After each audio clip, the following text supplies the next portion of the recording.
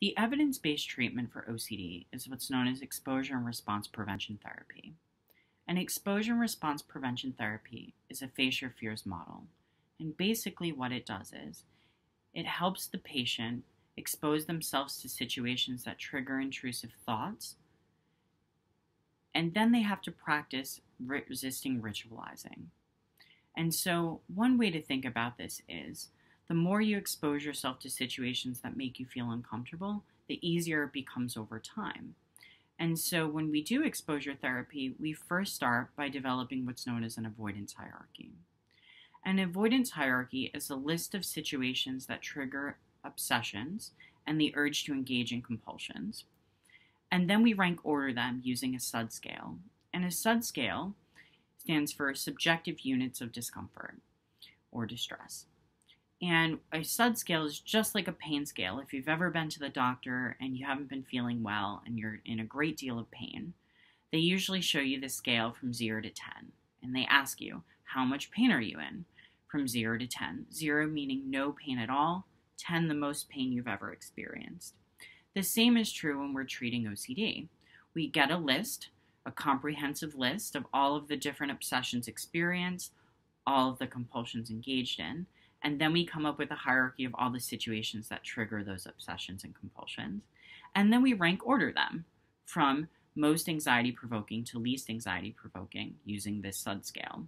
And the SUD scale essentially says how much anxiety or distress are you in from 0 to 10. So if I were to have you go and touch this door handle and resist washing your hands and notice this thought that you're going to get sick and die, how uncomfortable would you feel from 0 to 10? Okay, zero, no anxiety or discomfort at all. 10, the most you've ever experienced. Think like panic attack level distress.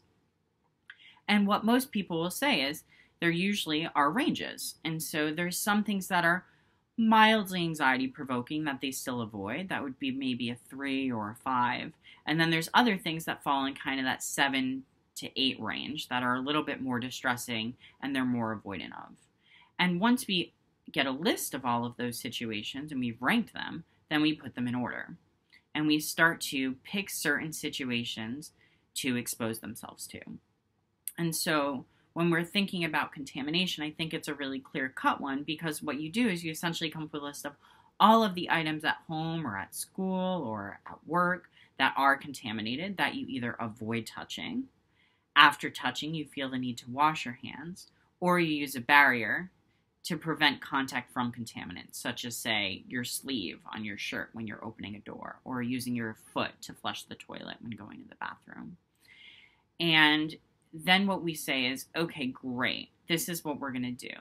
Okay, we're going to come up with an exposure of you picking one of these items on your list that's contaminated and intentionally touching them. And we're going to keep your hand in contact with that contaminant for a duration of 30 minutes. And as your hands touching that object, I don't want you to distract. I don't want you to reassure yourself that nothing bad's going to happen. I just want you to notice everything that's showing up for you. Where do you feel that anxiety in your body? Do you notice is your heart beating? You know, a lot of people with contamination, so they say, I actually feel it transferring. I feel this like tingling sensation in my hand. I go, great, good noticing. Keep holding that door handle. You're doing an awesome job. And then we ask them to check in to notice what are the obsessions they're experiencing. You know, and these these individuals will say, I'm noticing the thought that I'm going to get sick. I'm noticing my hand feels really dirty and gross. Like I, I really, and I'm noticing that urge to wash right now. Awesome. Good noticing. And all we're doing is helping create them space for them to allow themselves to experience those physical sensations, allow themselves to have that thought. And then we have them resist acting on that urge to wash their hands. And the more they do this, the easier it is to do. And and so there's kind of this confusing aspect to treatment, right? Where sometimes people experience what's known as habituation. And habituation is when your anxiety starts to climb, you don't engage in the compulsion, and it starts to come down all on its own. And the more you do it, the easier it becomes over time, okay?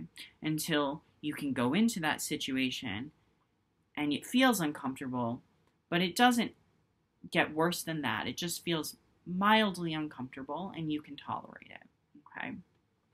But for some people, you know, their anxiety doesn't necessarily go down per se.